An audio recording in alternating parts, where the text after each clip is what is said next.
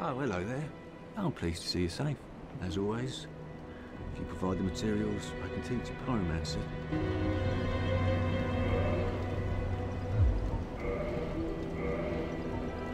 Pyromancy is the art of casting produced flood. Pyromancy, my hope you will understand. Goodbye then. Be safe, friend. Don't you dare go alone.